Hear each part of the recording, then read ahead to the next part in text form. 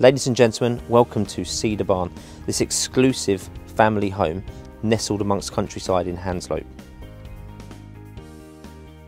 Cedar Barn was built as a six bedroom, five bathroom home. However, 4,000 square feet of it is now used as the main family home and 1,000 square foot is now used as a separate annex consisting of two bedrooms and two bathrooms. Due to the sustainability of this amazing Cat 6 home, by the time you've used all your electric and provided back to the grid, you'll retain around £4,000 income per year just from the electric alone.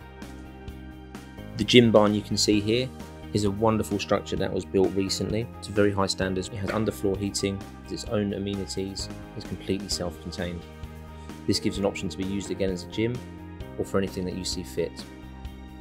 In addition to the gym barn, you also have two offices, both again able to be used as a separate income or for convenience for yourself.